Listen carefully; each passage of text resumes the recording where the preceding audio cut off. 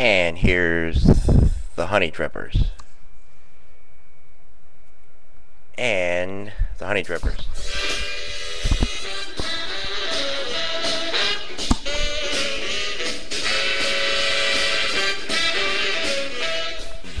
You're on the West One Radio.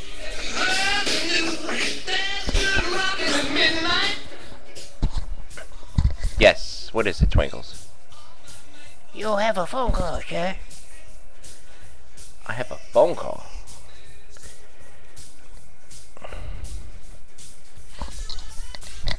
Yes, Jerry. excuse me. Yes, Jerry Bramer. What's the problem? Oh, what I said about we're not in the universe? Well, uh, we're not in the universe. I mean, how we're we have gravity. We, I mean, we're we're we're in a circle here, or whatever, however you want to explain it. No, we're, we're not in the universe. If we're in the universe, we'd be floating all around. We got gravity here. We're not.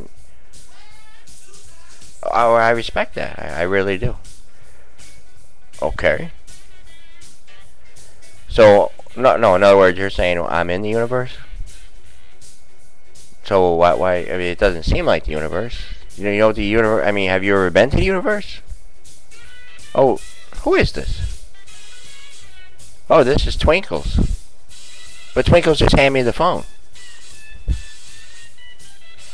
Oh, you're you're Twinkle's son. Oh, can I put you on the air?